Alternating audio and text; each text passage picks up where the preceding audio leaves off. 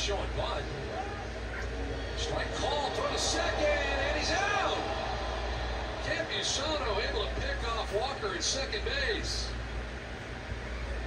A nice play. Oh, look at him. He's almost halfway between second and third. He's way off. They still get him.